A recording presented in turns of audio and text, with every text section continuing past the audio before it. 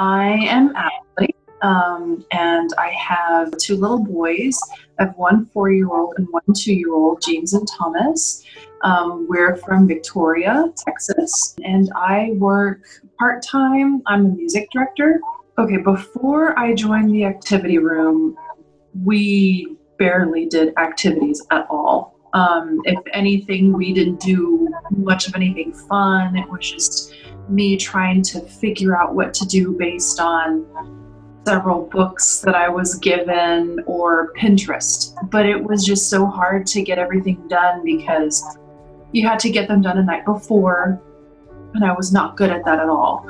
Or you had to go to the store and buy a whole bunch of materials.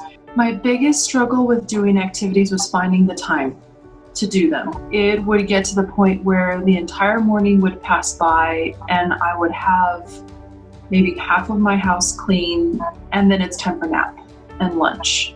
And then in the evening, same thing. Time would just pass by so fast. The biggest reason I want to do activities with the kids is to get time with them. I found that since we started doing activities, um, I get to know them better and we just bond a lot more.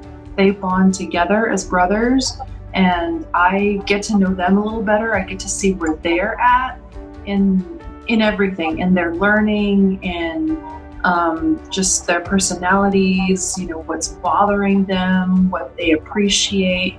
So we all get to know each other a lot better. I found out about Hands On As We Grow from Pinterest.